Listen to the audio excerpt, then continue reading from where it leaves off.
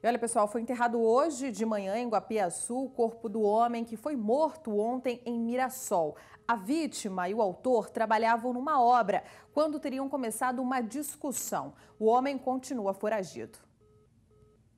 A vítima trabalhava na carpintaria da obra do condomínio de prédios em Mirassol, quando foi surpreendida por um colega de trabalho. José Cláudio da Silva foi morto por quatro tiros. Os ferimentos foram na região do peito. Ele chegou a ser socorrido, mas não resistiu. Segundo testemunhas, tudo começou com uma brincadeira entre os funcionários logo pela manhã.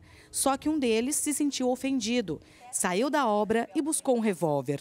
Ele voltou e encontrou a vítima no setor de carpintaria. O autor fugiu de moto, levando com ele a arma do crime.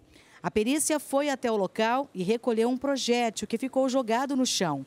O caso foi registrado como homicídio na delegacia de Mirassol.